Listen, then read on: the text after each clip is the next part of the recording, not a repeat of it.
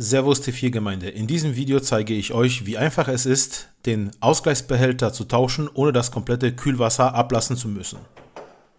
Bevor es losgeht, erstmal vorweg, bei Arbeiten am Kühlsystem darauf achten, dass der Motor kalt und das Kühlsystem drucklos ist. Los geht's. Warum tausche ich eigentlich den Ausgleichsbehälter?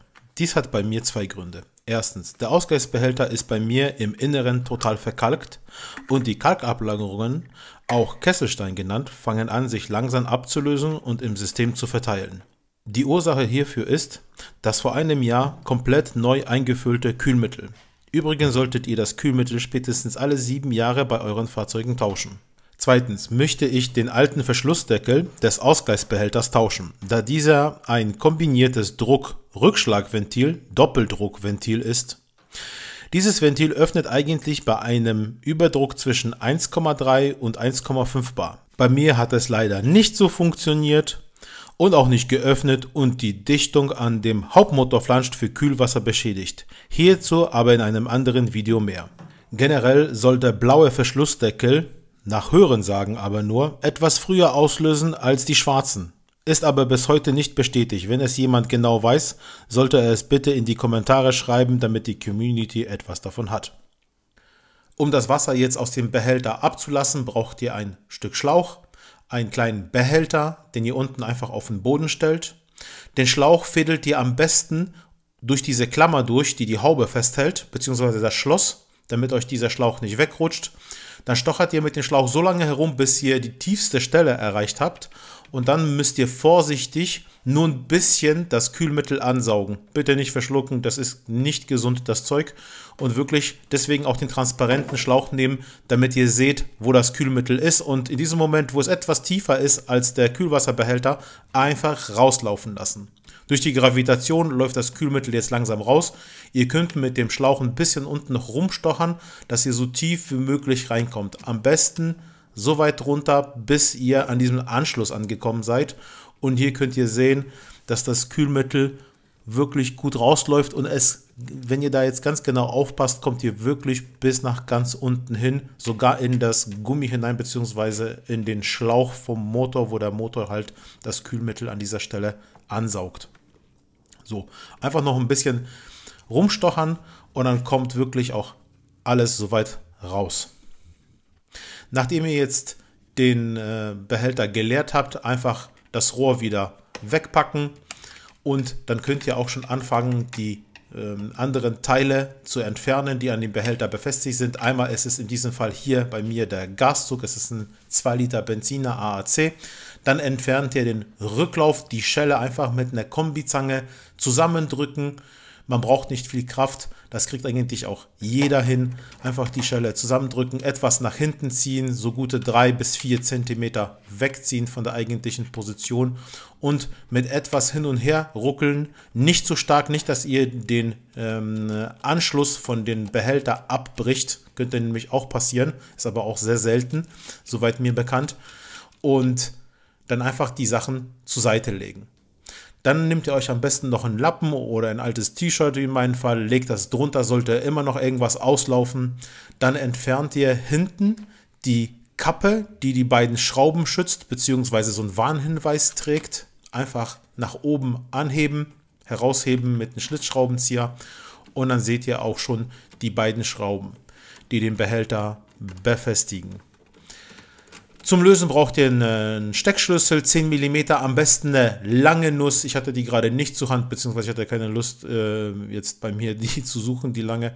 Einfach aufstecken, dann den Bit etwas drüber stecken, so dass ein bisschen Platz ist und dann kriegt man die auch gelöst, auch wenn das Gewinde soweit rausguckt. Also eine normale 10er Nuss reicht wirklich aus. Rausdrehen.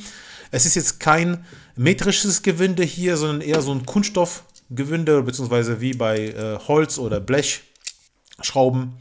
Einfach beide Schrauben lösen. Die zweite ist auf der anderen Seite. Die wird genauso gelöst und sieht im Detail jetzt wirklich so aus. Jetzt zeige ich das mal ein bisschen genauer. Leider konnte ich keine Teilenummer dafür finden, also verliert sie nicht. Ihr habt dann nur zwei davon. Dann den Stecker einfach abziehen, die Klemme zusammendrücken, dann könnt ihr den Stecker zurückziehen. Dieser Stecker ist eigentlich nur, beziehungsweise der Sensor drin ist nur für den Füllstand und dieser hat bei mir auch schon ein bisschen gesponnen. Dann den Behälter nach oben abziehen und mit einer großen Krimmzange einfach unten die Schelle zusammendrücken und einfach ist ein bisschen leichter Gesatz als getan. Äh, das ist jetzt etwas eine größere Schelle, die da unten ist und eigentlich geht es mit der Krimmzange und wenn es nicht damit funktioniert, dann nimmt ihr einfach eine Wasserpumpenzange. Bei der Schelle gilt genau dasselbe wie bei der oberen. Einfach zusammendrücken und nach unten wegziehen. Dann hilft es einfach unten den Schlauch festzuhalten und den Behälter mit links und rechts drehen zu lösen. Und ihr seht, ein bisschen ist vielleicht noch rausgekommen, drei, vier Tropfen und das war's. Und damit habt ihr jetzt den alten Behälter ab. Dann einfach in umgekehrter Reihenfolge äh, das ganze Ding wieder zusammenbauen. Also Behälter wieder drauf. Und jetzt schon unbedingt darauf achten, dass ihr den Behälter ausrichtet, solange die Schelle unten nicht drauf ist. Also wirklich kontrollieren, ob der passt. Der muss nämlich unten mit dieser langen Nase dort in diese Längsöffnung auf dem Blech passen. Dann guckt ihr nochmal, ob die Bohrungen bzw. die Löcher für die Schrauben passen. Und dann könnt ihr erst die Schelle wieder drüber machen. Und jetzt fummel ich mir hier wirklich einen ab mit dieser Krimmzange, weil die dann halt äh, etwas zu klein ist für diese Schelle. Ich hätte eine Wasserpumpenzange nehmen sollen, dann hätte das eigentlich sofort geklappt. Aber um es zu zeigen, halt hier etwas langsamer. Ja, so dauert das jetzt ein bisschen. Ich lasse es mal aus Absicht laufen, damit ihr seht, wie ich damit umgehe und damit ihr auch das Gefühl dafür kriegt, was euch dann halt erwartet. Das ist eigentlich die schlimmste Stelle, wenn ich ehrlich bin. Äh, alles andere ist wirklich ein Klacks, das zu tauschen. So, dann den Behälter natürlich wieder draufsetzen. Und was ich jetzt äh, mache, ist, äh, unten ist auf diesem äh, Rohr beziehungsweise auf diesem Schlauch nochmal so eine kleine Schelle, die den Gaszug führt. Achtet darauf, dass der Gaszug dort wieder hinkommt. Aber wie gesagt, soweit ich weiß, nur bei den Benzinern in dieser Form. So, dann alles wieder befestigen und schauen, ob das alles passt. Den Stecker drauf, den Rücklauf wieder draufstecken. Noch nicht den Behälter festschrauben, wirklich so lange warten, bis die Schläuche befestigt sind. Jetzt könnt ihr die Schrauben wieder reindrehen. Und hier ein Tipp, sprüht sie einfach mit weißem Sprühfett ein. Dann erstens gammeln sie nicht so schnell und zweitens härtet das Sprühfett ab und äh, äh, ab. Das äh, Sprühfett äh, härtet aus und hält somit auch Feuchtigkeit weg von dem Gewinde beziehungsweise auch von den Löchern beziehungsweise von den Bogen in diesem Blech und dann gammelt euch das Blech nicht so schnell beziehungsweise die Stelle.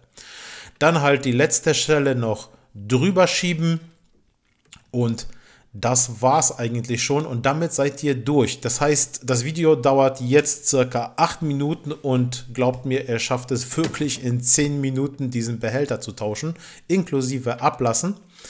Und am Ende achtet ihr nochmal, dass der Gastzug wirklich sauber läuft, der nicht irgendwo klemmt, beziehungsweise es ist nochmal so eine Schutzhülse drum, wo sich dann eigentlich der Gastzug nochmal drinne bewegt. Und da solltet ihr wirklich darauf achten, dass das alles sauber wieder an richtiger Position ist. Am besten vorher auch mal ein Bild mit dem Telefon, also mit dem Smartphone machen, damit ihr immer einen Vergleich habt, wie es bei euch ausgesehen habt. Sollte das zum Beispiel ein TTI sein, also ein Diesel. Dann die Schrauben wieder reindrehen, die Kappe wieder drauf. Und damit ist eigentlich der Tausch jetzt schon abgeschlossen. Und jetzt kommen wir eigentlich schon wieder zur Befüllung. Hier nochmal ein Tipp immer einen alten Trichter irgendwo haben. Das ist jetzt hier so ein alter Benzintrichter bei mir. Und dann füllt ihr mit dem gleichen Kühlmittel wieder auf, welches ihr drinne habt. Das heißt, erstmal herausfinden, was für ein Kühlmittel ihr habt und erst dann wirklich auffüllen. Zur Not könnt ihr auch das Abgelassene nehmen, aber schaut, dass da nicht irgendwelche Reste drinne, also irgendwelche Teile rumliegen. Hier nochmal eine kleine Tabelle, worauf zu achten ist. Unbedingt darauf achten, dass ihr G11 mit G12 nicht mischt. Das heißt, diese beiden Kühlmittel dürfen auf keinen Fall miteinander vermischt werden. Sollte es dennoch passiert sein, müsst ihr leider das komplette System ablassen und komplett nochmal neu befüllen. Das ist Pflicht. Und zwar so schnell wie möglich, weil die Mittel miteinander reagieren können.